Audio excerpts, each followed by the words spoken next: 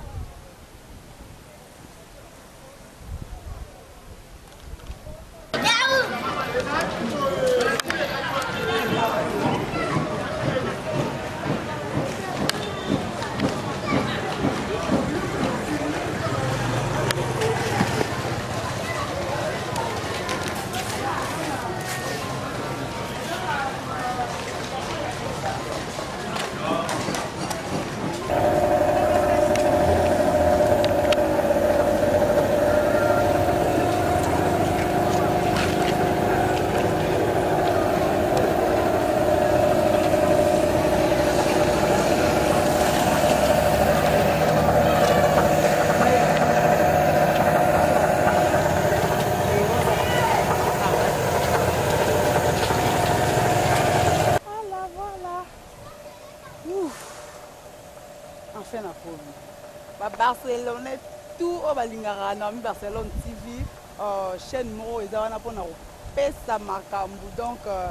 euh, lelo nalobaki naya kosala bino surprise bomona star na bino eyenga Donc c'est une surprise, ayebi même pas que toye koluka ye yango donc nayebi ke boza deja ya kosepela bosabone ebele na naomi barcelone tv bokozala jamais desi aminata kalombola professionnel aza toujours wana mpona kosala kiprofessionnalisme opesi makambo ozwi makambo nesa mifi misuri star mastar nazongi na force ozwa ide te mon vieux luison ekofo na kosalaka ndenge toyokanaki mais na ye totalele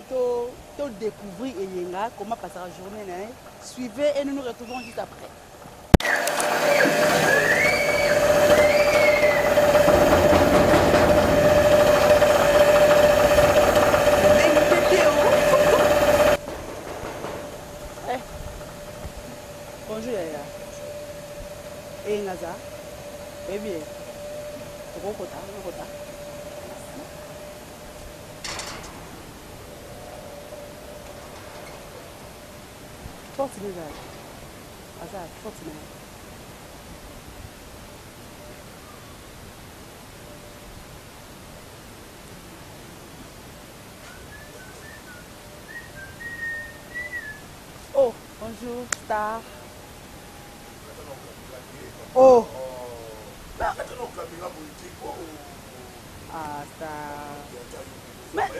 nazobenga ozoyemba te yango nalobi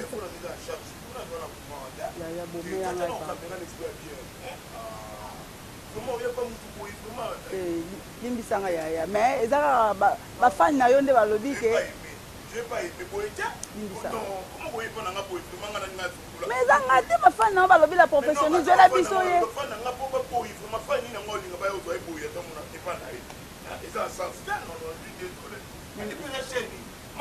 Naomi Barcelone TV.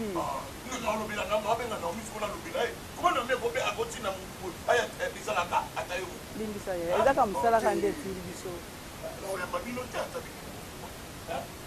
Star omoni yo oza star. Eh, eza question du star te. Mais kata na kamera, ba kata na kamera, to solo na ngo to ba no ndenge to sala.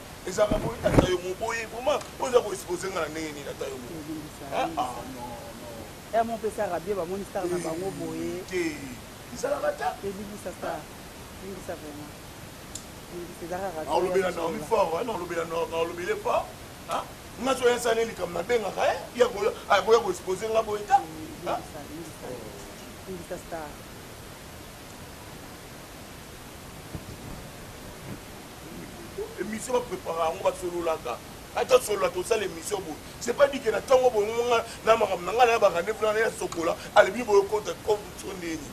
ah non non to la grande sœur na omi mais na sepeli na moto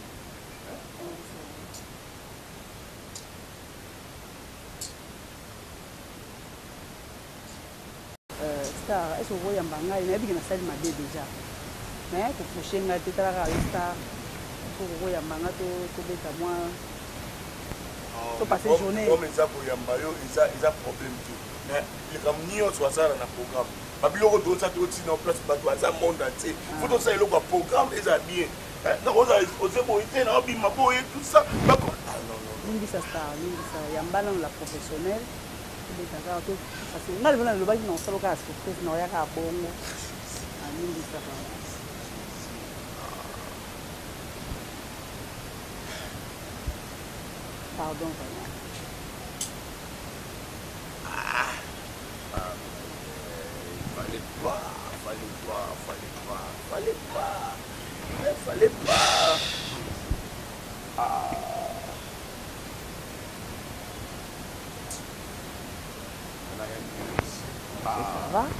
Euh, en tout cas bafani mpe basepeli te na bango basepeli bolimbisanga ezaka mosala ndenge kaka nasepelisa bino awa naza na star na bino ya kopesa makambo likolo oyo eyenga na ye topase na une journée boyeba comment en dehors ya mosala asalaka comment euh, alekisaka bajournée na ye epuis en tout cas toye lelo naza na ye Mais ba oyo ba sepeli te nde na bimeli pe brusquement bo limbisa nga na lingaki kaka ezala kaka bongo vraiment bo landa biso na na ye lelo euh, star Pani bozela akati boye pana kiboyo osu pango osu pango epana biso problème eza nini omoni biso bajournaliste toza kaka baki donc na bandi kuna nazoluka na baelo na osaloka surprise mais nayebi ete kosilika makasi boye limbisa nga vraiment excuse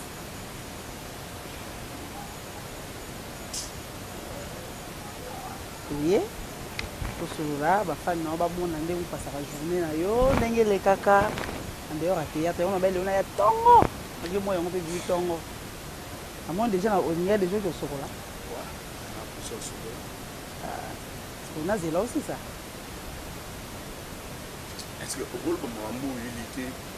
nga lelo na ye naza na yo na bino bapasse journée na yo naza na yo vraiment eza émission te toye vraiment topasse journée mobimba na yo epuis tosolola na sens wana yango soki olobi na zelo osilisa osokola na ozela o naoza nango mpe tengaka kisi na fani na ngai ok merci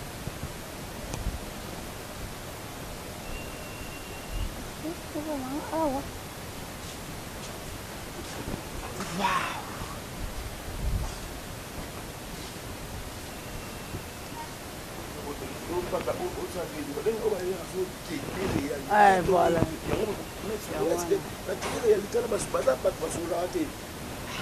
basololaka mai nga sikoyo la professionnel nalobaki naosola te naosola te limbisanga vraiment Eza na osola te na oyaka abongo. Star nayebi te okenda kosokola tovanda bana ata moke tobeta ata mwa lisolo moke kaka euh, en tout cas limbisanga nayebi te nasala nini mpo limbisanga mpo naomonaka degre aka nde oza nango e eh, ngai nzambe na ngai e eh, star omoni ti nalobi naya boye eza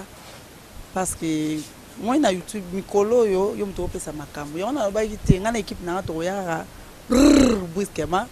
tozwi ye bastar na ye mpe bamona ye bamona ye ndenge azalaka en dehors ya théâtre bamona ye ndenge azalaka soki na asokoli te bamona ye ndenge azalaka donc eloko vraiment nayelaki yango wana voilà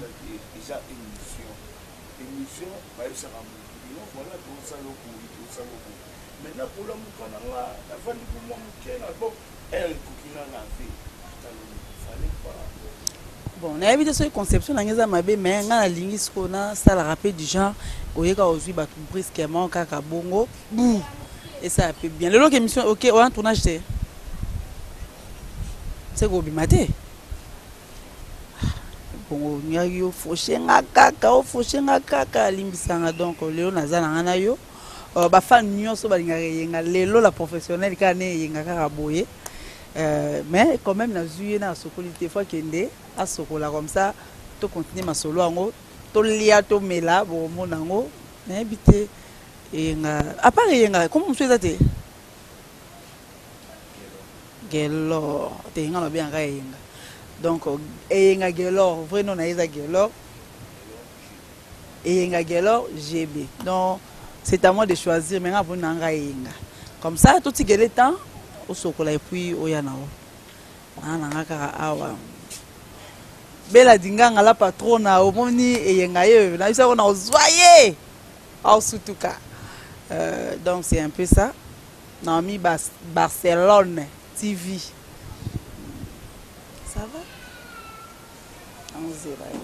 Ça va, merci beaucoup. Tongo boye, ah, na banano na mai. Maman.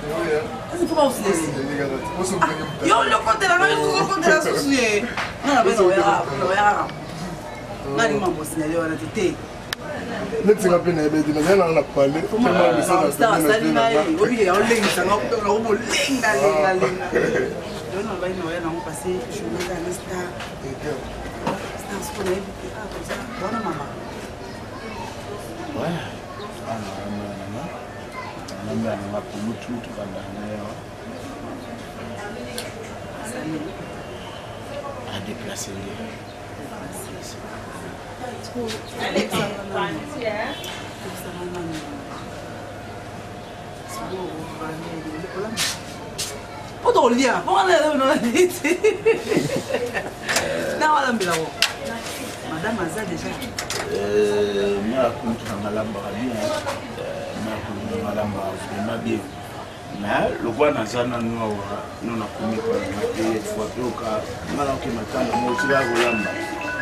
nga mpe nalambi mpe nalambaza mosala bonso bachéri bachéri atwa kaka na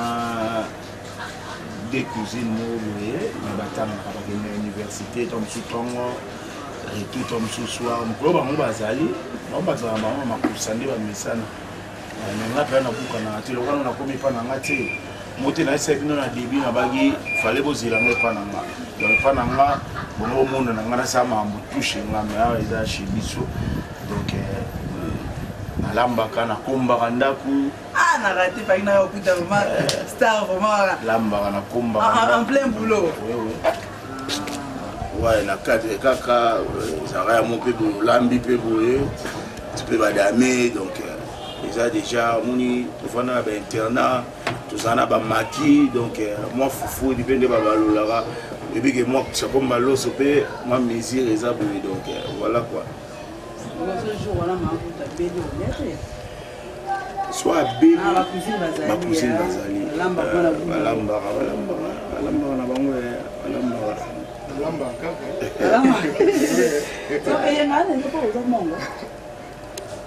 hmm, eyenga komi na nga eza eyenga botete likonga ndobo Voilà, donc eyenga botete likonga ndobo. Wana wana ndenge solo. Na ndenge solo. Soko na tuna père na yebisi ye kombo na nga elakisaka nini? Et na ba mongo bato bayebi to ba botete eza eloko mo boye soko eyenga botete likonga ndobo. Donc eza na moto moko nkombo na ngai elingi olakisa motu moko asimbi bomengo ebele azwi yango sikoyo atya yango na lipeka aza na likonga epe bando otambola kaka dimanche yalekaka kaka mingi dimanche donc bie bomengo na ye bie likonga donc motu mwaye aya kobotola eto aya kobundisa ye aza te yango eyenga botete likonga ndobo donc motu moboye asimba bomengo atyango mpe na lipeka richesse tuyo oluka aza nango donc nga bacapacité to oluka etaki artiste na nango sikoyo bato mosusu bakanisaka solola kota boye rien nasimba sikoyo likonga donc motu moyen abotola nga eza te donc eza mpena vrai non na nga yango na joura nango donc eyenga bote te likonga ndobo gelo ouais, papa zambi papa zambi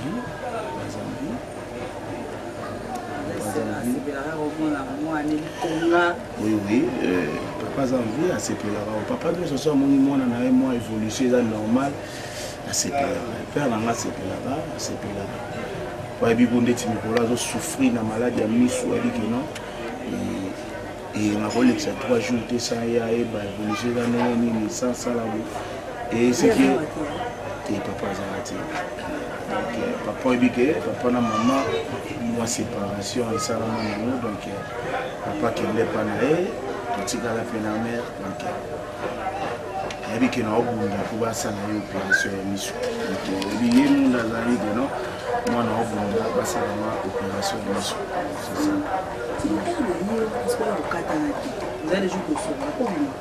Ouais, na mona bima kuna na moto. Tokende faze na lelo na lobi na. Te na moto bato mo ndeti artiste ya tatu fashion abeteli nga tu oyo bato tozalaka na bango donc ye lokola ye ati mosu amoni mpo na wumeli mais aso tokanga mpe na ye chez kala mingi tomona mpe ibutu mpe akoti mpe ye ba 12 donc akoma lokola mwa siège mo boye toyaka todeveloppe kaka tosolola totongaka bato te mpo biso mambo atongana ezalaka te todeveloppaka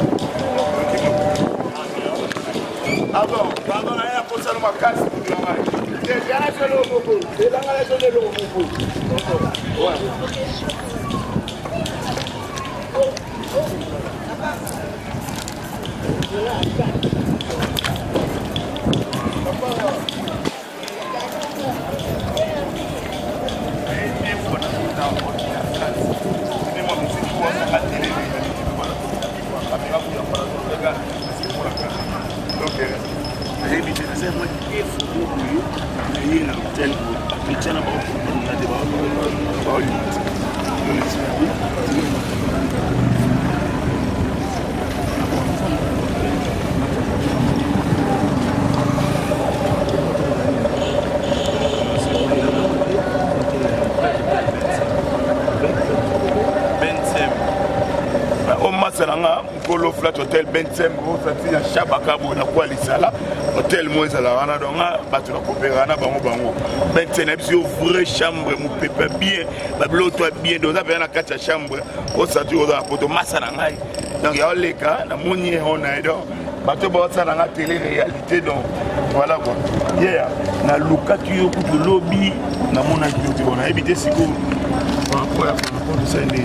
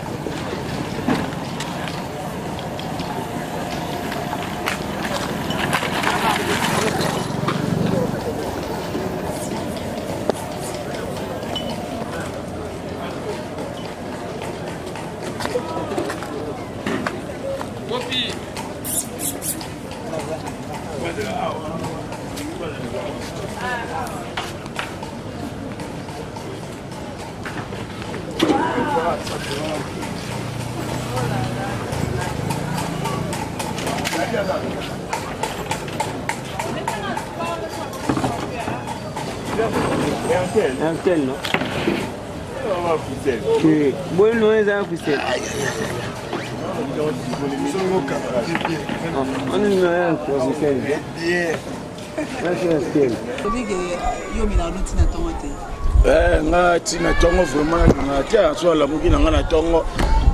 alave na nga naye navandi libanda naotalaka bato nde baoleka mwa eloko moko boye kota ngolia kaka apres ba 12 heures apres ba 12 heures vraiment nde mbala moko natake fufu ouais faut garder taille wana chimene makoso ayebisa nga bongo abi faut garder taille munene munene mpe mabe oyebi kaka nde obese simo boye so ndeni non me agela oyo enga nde aza boye mama na souplicité nakobanda mpe mbango awa nabetaka mpe bale ba dimanche donc eh, voilà quoi oh, ya gabi ovie oh, na nga mwana ah, ah. ya gabi ah, ape na ngai yaka te topalaki atake ngai légende matina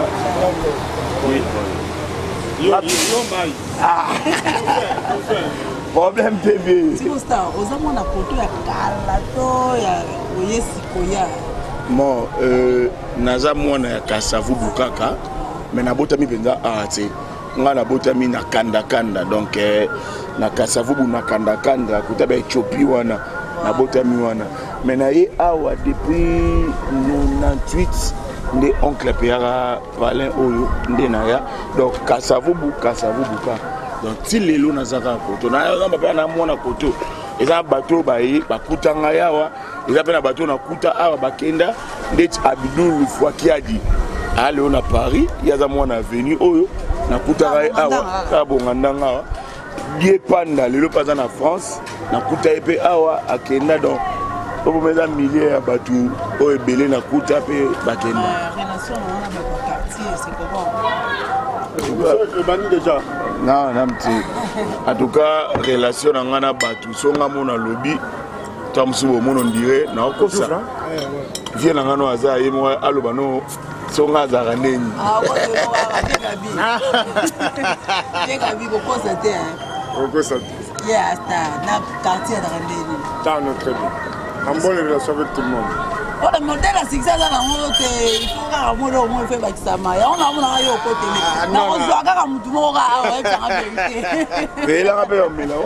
ata so les gens to nini na baye kaka talaka nayambi bapaya ti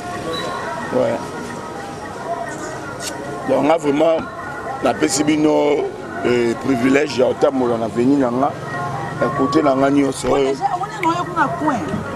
otunika mama wana nomutata somo asala teyatre amunene boye mwindu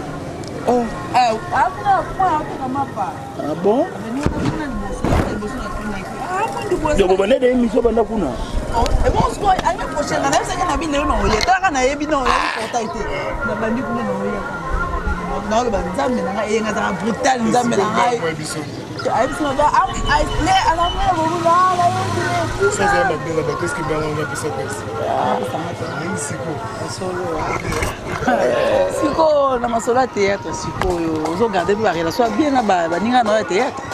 oui en tout cas naza bien na tout le monde nasololaka bien wa naya Ouais. Donc, euh, naza bien na tout le monde nasololaka bien na tout le monde epuis euh, so ozwi ezalaki mutu mosusu mpo na lelo en tout cas na ngai nasala émission oyo te so vraiment ezalaki naomi barcelone te vrai chéri wana taille wana mwana mwasi wana na ngai nasala émission oyo te nasali yango po aza sere na ngai tozalaka na ye tellement bien bafashe kalombo tozalaka bango bien baada ilunga ya niko shege donc tout le monde ozomona bacoquete tout le oyo ntango mika ana monde ya théâtre so abiki ana problème na gelor eyenga wana alobi verite te tosalaka effort tozalaka bien faut comprendre motu ndenge aza motu aolinga ndenge nini motu azalaka ndenge nini voilà soso comprendre jeu ya motu ozala no à l'aise ovanda mpenza à l'aise donc voilà quoi sikoyo à part bato nzili wana otourne mpe awa pièce mosusu ouais awa nazalaka na lise boy fondation epai ya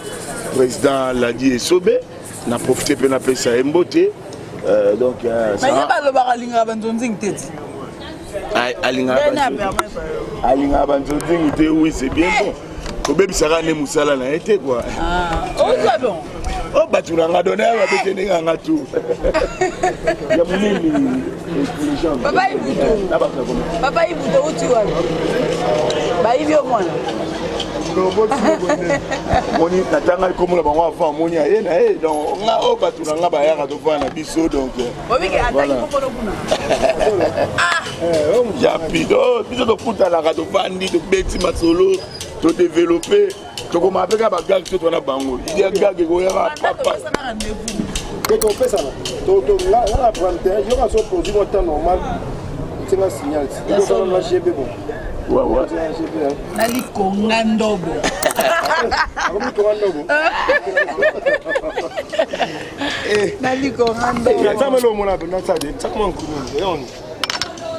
Eh, kasi amoni osali masolo masa te kuna te masa ntango nini telo mona oyo ye obi ye okasala te papa yebisa ye te atelo boko elakisi lita yaya kwa ndeti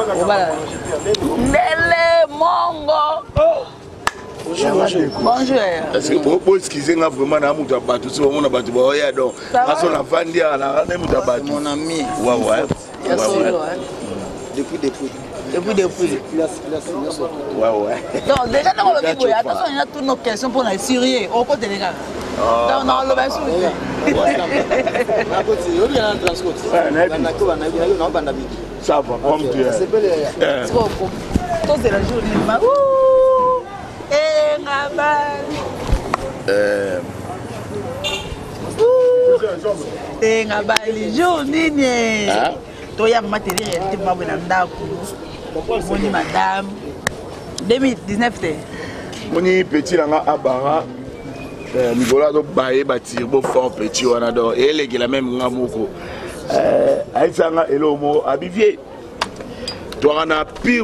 mutu na biso moko azalaka na poto na belgique kudia kubanza matadi kevingila nge kudia kubanza matadi kevingila nge bayesanga elongo babi libala eza eloko basalaka na motema mbangu te esengeli otala okanisa soki solo okoki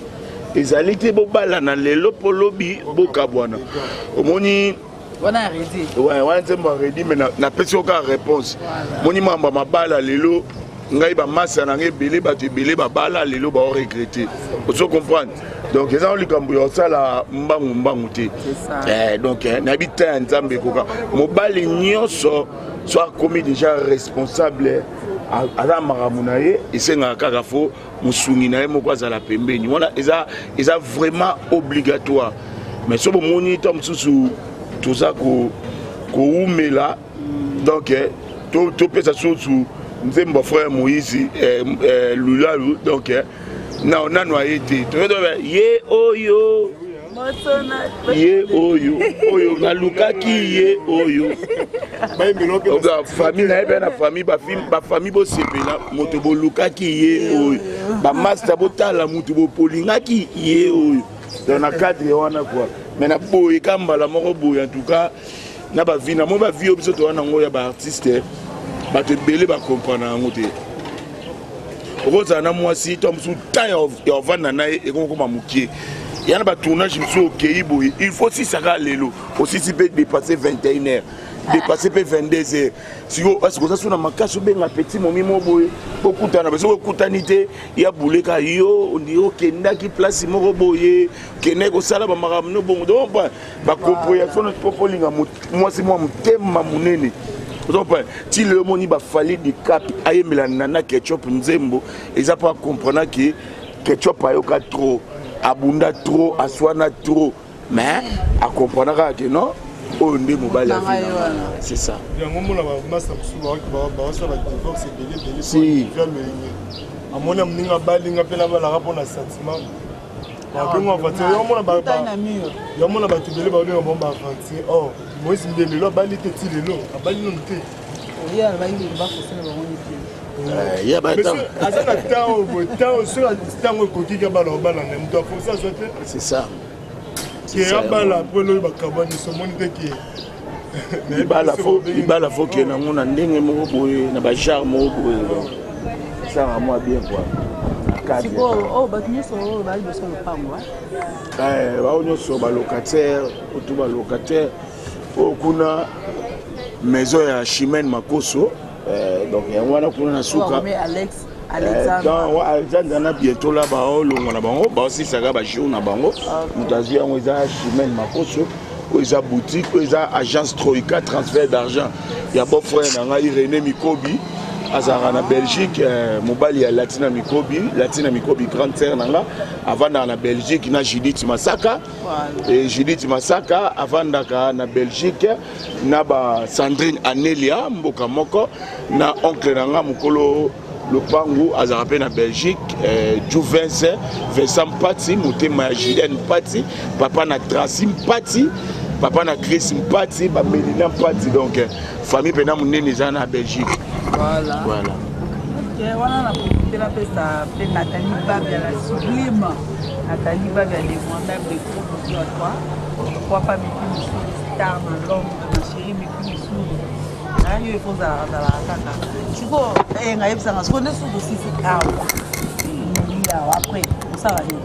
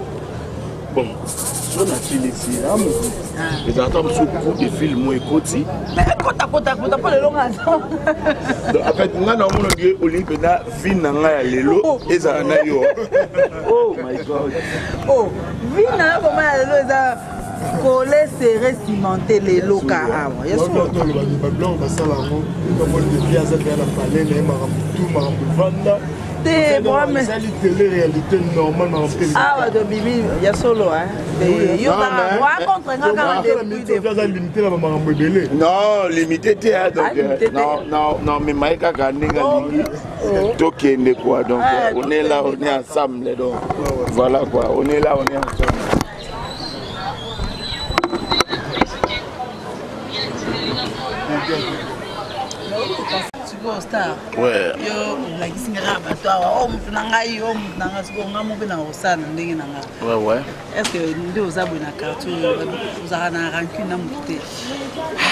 neti bamama oyo atekaka na bakulu mama oyo ozalaka na bango bien bon soki ozala confiance na nga te réagir no na ndenge oyo ko réagir ya ndenge nayosinga confiance noko asa posa so olobi nanga likambo ah. zela nongo nao nga mona ona kita nanu na bana nao na mama Maman oyo ayebi yo.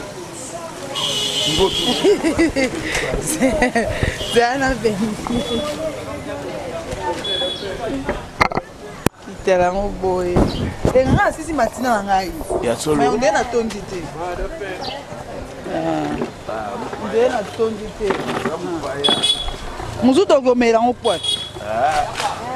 Place omela oza. nabandi na awa zwanga bien bonjour yaya bonjour, bonjour maman awa ah, toye na quartier na bino kasavubwa toza na star eyenga oyebi ete ah, nayebi bien siko ngai ya oloba na ngai kaka azalaka bien na quartier ngai mosuku naosa bankete na ngai comment il vit na quartier ya vandeni au fait vie wana aza vie moko bien donc azalaka na bato nyonso bien na kati ya quartier soki moto moko alobi ke aza na mabe moko entre ye nga nga vraimen na oboya yango azalaka bon vraiment asololaka atanke jeune vraiment na kati ya veni brutal te brutal donc aza na babrutal te namona ndenge so alamina ntongo moko yebi kaka animaka veni na bafaçon moko ye alingeli donc soki okomprendre te bokobeba ne mais aza tellement bon aza ma bon makasi te jana kokota wana vie nanga kati ça va merci yo komona Gracien. Gracien, na ozonga boye. Soki kuna bayebisi ngai eloko mosusu. Mama, bon appétit. Ozolia. Mama, toza oyebi eyenga. Eh, nayebi ye. Oyebi ye vraiment nde neti nde nini? Ye aza mwana na biso. Mwana na bino. Eh, na avenir bazala nde nini? Avivaka na bino ndenge? Azalaka bien. aza mpena malamu ayebi kofanda na bato okotele te mpo azaka mwana okotele te mpo aza mwana na nga me namonaka mabe ya mwana na nga te eh. oh, bato nyonso tu bazolobaka boye sava mama naoya boye nao perfection eza solo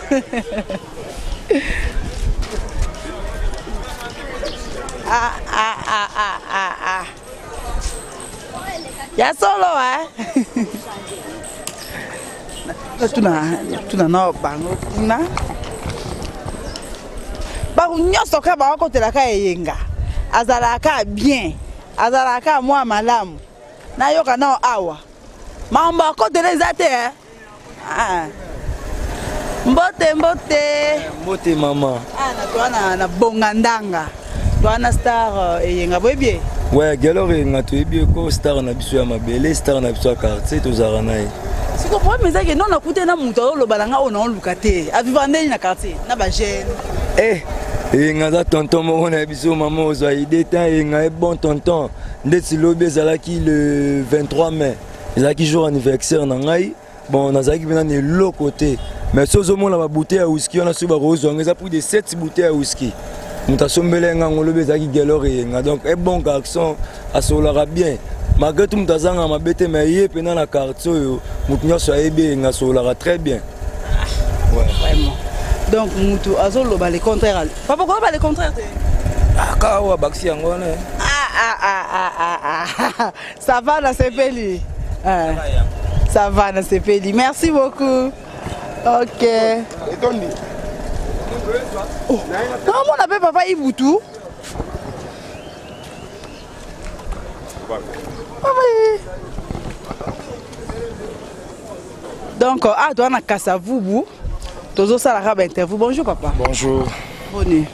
bien mama est ce que oyebi star eyenga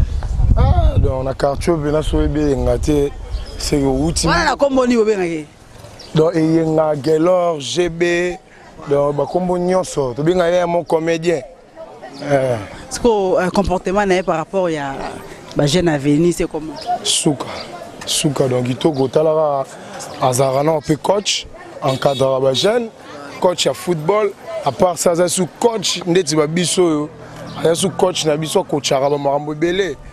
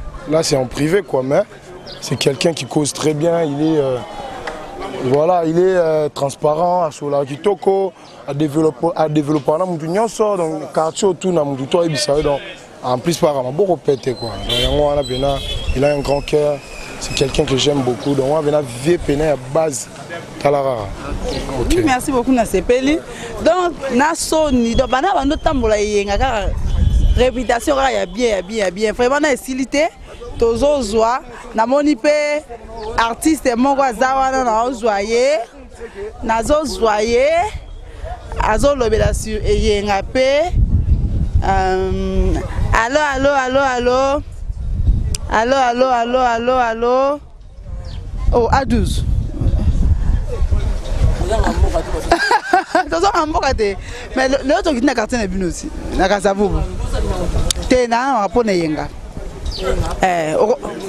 ah, oh, nini oh, oyebi ete boni boye ko oyo ebeli nde nini partout natamboli kuna ezaka bien bien bien te motu nyonso mpo olobaka mabe na ye na malamu na ye omoni korobo korobo aza na deux couleur aza na pembe na noir mais balobelaka kaka mwindu na ye pembe na ye quand même balobela yango te eyenga azalaka bien mais mabe nde ezalaka teti teti eyenga aza teti parce que na comprendre na tuna pourquoi ozalaka teti na quartier alobi papa na ye ayebisaka ye abi zala malamu na bato bazwani malamu zala mabe na bato bazwani mabe et c'est ça yango nalobi ke oui azalaki kuteti mais conseil nakopesa ye enga aza artiste ya monene artiste ya monene mpesa ovanda po ayebaka mpesa ovanda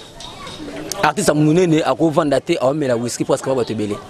artiste ya monene mpo aza so aza place aomela mo eloko na ye akoti na ndako afandi wana conseil ngai napesa ye parce que nayebi ke aotala image oyo eza na bato mosusu tolinganaka te na monde a eyenga aza social asosala bato nyonso presque bien mais mabe azalaka na laisse aller conseil na oyo nakopesa mpa ndeko na ngai eyenga eyenga ayeba ndenge nini kozala na bato eyenga tala faible commencement place outi kotala lelo te parce que ngai nakutani na esobe esoki bayebisi nga propos makambo ya eyenga eyenga lelo akoti poto akartoni na poto eyenga awa na kini bayebaki na ntango ya zigora mais lelo akomi mpa esobe akomi néglige mpa esobe lokola ayebani asali succès na poto akomi okima place eh, place abanda répétition mpa esobe esobe mna tuka tozalaki na ye aselamante trop mpo na eyenga donc bino mpe bajournaliste so vandi mpe na eyenga okuta na ye tuna mpe question pourquoi mikolo oyo azokende mpa esobe te esobe abengani ye ou non Merci na otuni yango. Papa Ibutu, papa Ibutu, papa Ibutu, bonjour. Bonjour. Na moni yo awa na kamwe na kuti papa Ibutu na nzela na ngai lisusu. Oyo ta yenga. Na yenga wala mutu na ngai mais azo comprendre makambo te. Te na te na yo pe yenga bona epa na yo pe yenga. Na yenga za bien, yenga za bien mais mabe na ye euh, mabe ya yenga eza nini ababa wiski nde mwa trop fois dose ah, monene peut-être asalela tai te wiski na yasu ya monene te koma ya drink hmm, ye na fashe kalomo mote mambo ya dose mo moke ah, ye na fashe hmm, na fashe kalomo mais na ada mais baza bato moko baza bien ayenga bien bon na bete tour comme normal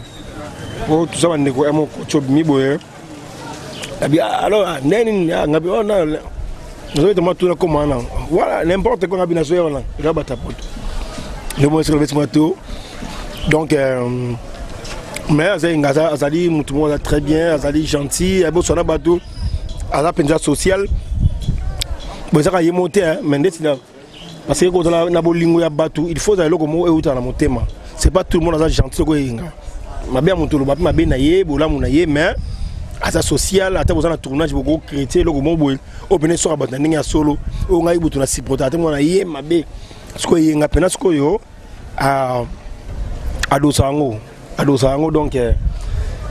eh, eloko tokoloba baverité na ye yango wana mpe eh, aza na mitema moko nde moko na banina pembele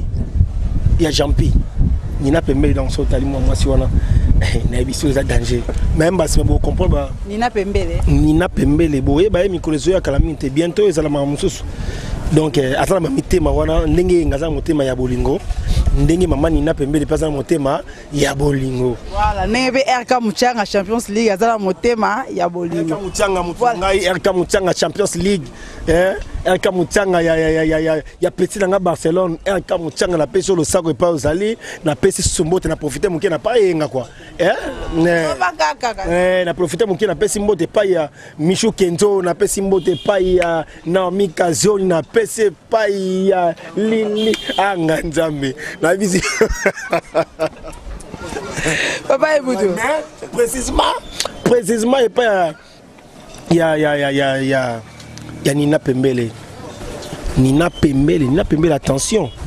mais bon afin nango olobela yango te tokolobela ma mikolo ezoya mikolo eza ebele eh, napesi mbote na bafanatike nyonso oyo balingaka eyenga basoutenir eyenga parce que eyenga aza moto oyo aza moto ya bato aza moto moko asolaka bien apart whisky ezoleka ye mwa trop trop trop bon eza mpe mabe te mpo na libumu na ye akitisa mpe mwa libumu mpo ya fiziki akima mbangu mpo jonso tosala tournage boye enga mpo matala motuka totombola ye kotombola totindika ye kotindika mpo azalaka na joue amata na motuka wana yabisinga azalaka souple te ekona na souple ya te yango fana luka mwasi eyenga fana luka nga fana luka mwasi ya eyenga natuna ye soki aza souple ok ça va nasepeli nasepeli makasi Euh, star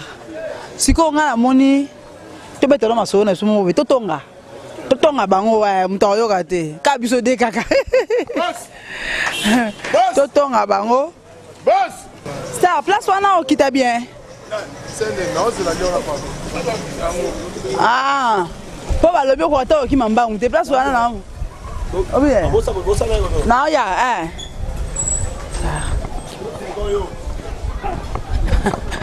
star na nakimi bango kuna comprendre eh? mpo na ya masolo mosusu tokoki kobeta te bato bayoka biso bavie bonjour Ah, ba vie na ye papa naotuna likambo parce que partout nazotambola kaka bien bien bien naoluka ata le contraire ya yenga aviva nde nini bon eyenga avivaka na ye bien agene moko abotami na kave akoli awa bandi mosala na ye bon azala motu moko avivaka bien asololaka bien na bato agentil impoli te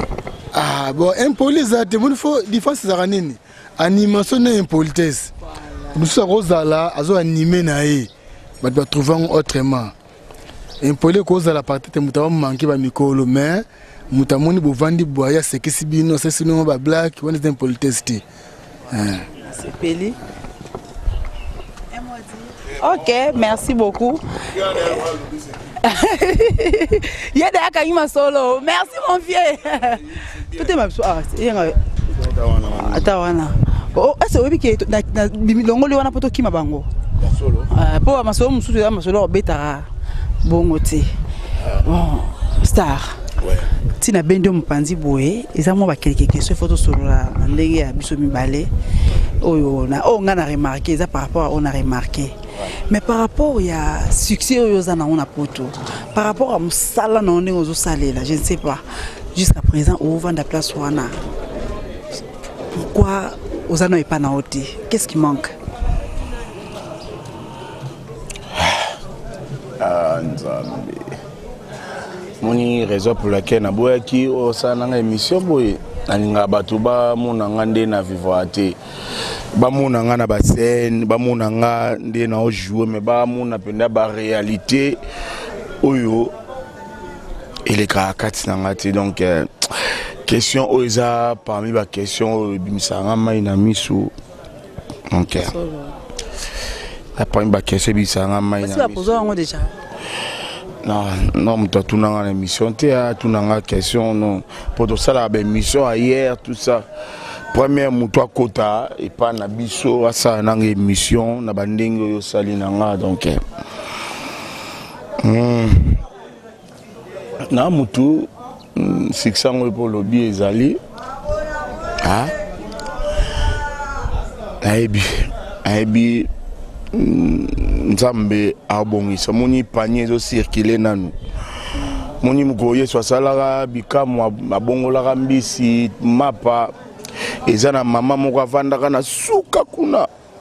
azalaka na makasi te ya kokoma ti place oyo bambisi wana ezalaka mais azalaka kaka patient azalaka na persévérance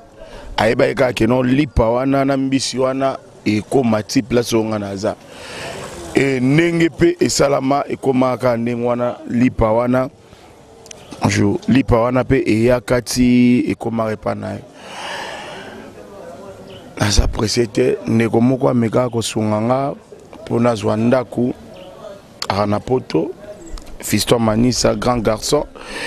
bayaki na biscotte mbala eh, pied de jésus mbala mbuta biscotte pied de jésus ye kutu asali griffe na ye mo bakoma pouvoir Donc polo, pouvoir, chapeau, tout ça. Euh, malheureusement, nakutana na batu moko ya bien te, ba melaye nga mbongo ya garantie. Tant ba meli nga mbongo ya garantie, bazalaki bacommissionnaire ozalaki na bango confiance te na confiance te donc en fait bacommissionnaire basalaka bacommissionnaire basalaka je na bango na mutu moko nga nakokutana lokola naza na besoin ya ndako effectivement namoni mpe ndako eza mpe vide nasololi mpe euh, combien tout ça napesi mpe na moto wana tosali ne bapapier et après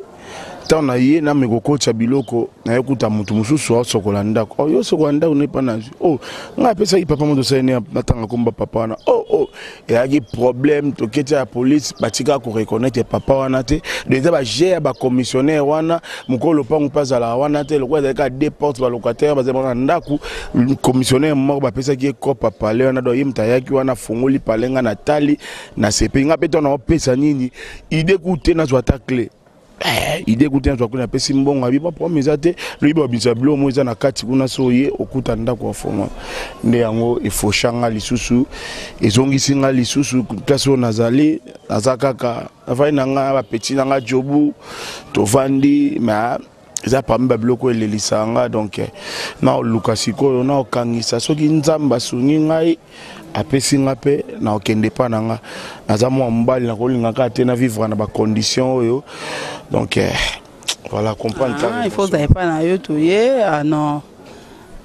oh, star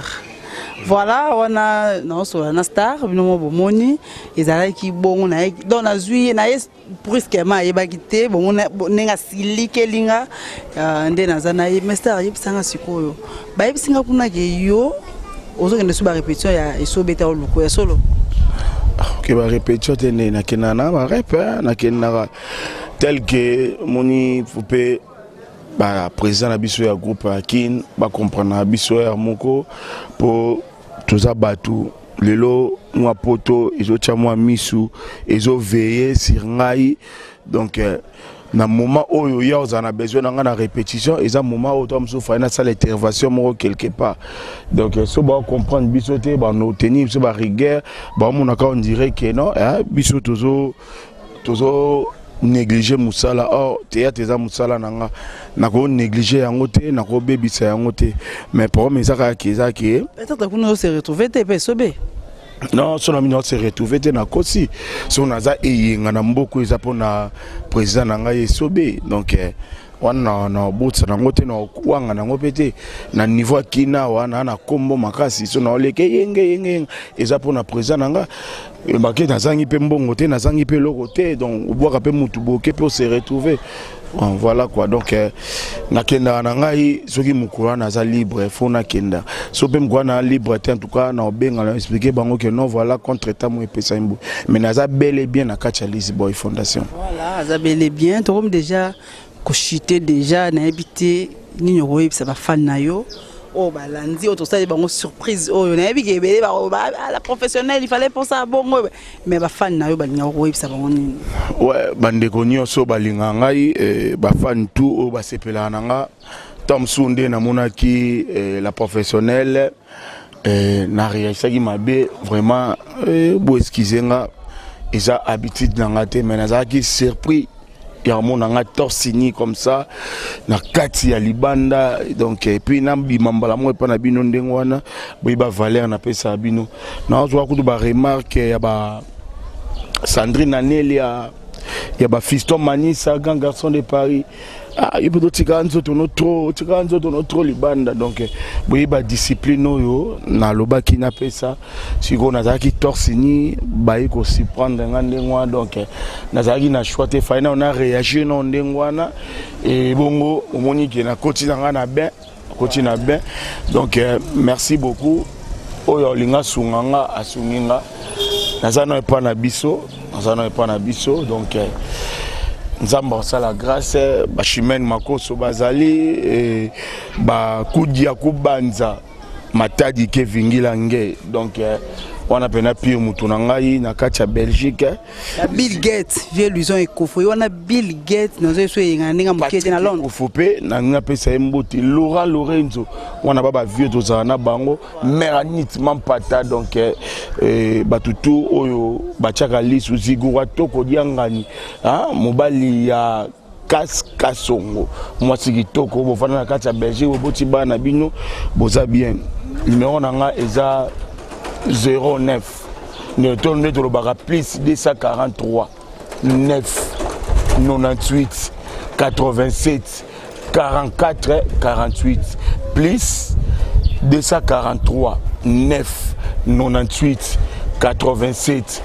44 48 so obengi ngai ozwa ngai nalingi bato nyonso balinga ngai oyo to mosusu bamonai ngai na babi mabe na émission bamonai mwa réaction na ngai mo ezalaki mabe en tout cas bolimbisa nga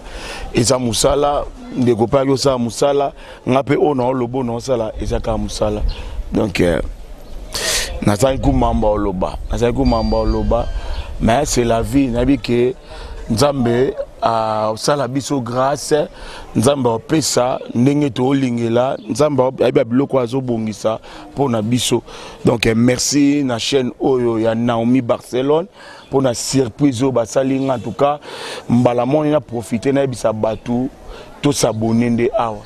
biso mikolo oyo toza na opération moko toyokanaki toyokanaki yango entre nous eza opération sunga moninga moninga mpe asunga yo chaîne yango oyo nayebi ke naomi barcelone aza tellement mayele chaîne oyo ba n'importe quoi ebanda koleka te tala nasepeli grande sœur oyo nazalaka na feti na ye collation ntango asilisaka eh, boulot na ye oyo atangeli yango na ntike yango sanseke tosali émission moko ya baprofessionnel tosali émission moko ya mikolo je suis là baye banso basungaka nga nes makiadi papa na jonathan dia tabau wana kati ya belgique eh. jonathan asi akola tobenga papa na jonathan mais jonathan lelo akoma yaya mare sola napesi yo mbote eh, donc eh, mm, mama kimbangiste eh, bamama kimbangiste eh, moziki ya bamama kimbangiste na kati ya londres wana mama sandra moto azalaka wana ye nde mama présidente napesi bango mbote ebele napesi mbote na boutique boucle ya blandine basele ah, oh, oh, oh, c'est bon napesi mbote na boutique boucle eza na bandal kota terrain municipal ya blandine basele mwasi kitoko forme nyonso eza wana napesi mbote epai ya biscotte mbala pied de jésus na griffe na ye pouvoir kudia kubanza kudia kubanza kudia kubanza matadi ke vingila nge mbote epai na yo sandrine anelia baye baso balingaka nga ntuka patrik ekofo eh, baza ebele donc baza ebele bana poto nyonso abdul fuakiadi maître alain makolo makolenga nga eh, tadi rnf eh, diezola mokonzi ya mangai napesi ye mpe mbote napesi mbote epai ya bamasa na nga tu wana bamasa ebele eh, na mikili donc eh, voilà toi micho kerle donc mbote ebele ah, voilà voilà voilà voilà mais Et on a une question moi sur la sur la pose en été moi été. Est-ce que tu peux nous dire euh, tu peux nous dire mauvais souvenir dans la vie. Oh ils ont sur raisonner en gros. Oh les lignes où tu les labos. Oh c'est la vraiment pas si à ma casse. soki tokokoyeba yango mauvais souvenir oyo etikala yo donc elembo na motema émission botumbola nga bapota fort ah, ya solo botumbola bapota fort tumbola nga bapota fort théâtre baavantage eza ebele me nga na nga natikaka théâtre na mauvais souvenir moko ah, ozotumbola vraiment bapota émission yo ezongisa nga na bacicatrice ebele Ah, nzambe na ngai nzambe na ngai ah. nga mauvais souvenir oyo makasi na nao na théâtre nakoka to obeta lisolo te vraiment so na obeta lisolo alela fort ai na grande sœur na nga moko donc eh, so na bi likonzi ya famille anda otanga me azali vraiment na makambo abotaka mwana moko ya moko ya mobali josias koma mwana yango sikoyo ah, nzambe na ngai jésus jésus mokolo ya collation ya grande sœur bonga bongami kaka na ntongo eh, collation na ye tout ça tout ça mwana na josias andoka deya nzoto bien te mais lokola deja mama na ye azalaki deja na mouvement mouvement mouvement moto oyo ye amaîtrisaka mwana wana ezalaka ngai mais pendant que la sœur a besoin akende na IEC kuna place bango bazalaki nga mpe nazalaka na tournage moko sikoyo mwana moni mpe yake mama aza te aokende nga mpe su naolata nameki omeme na bondele ameki okitisa kanda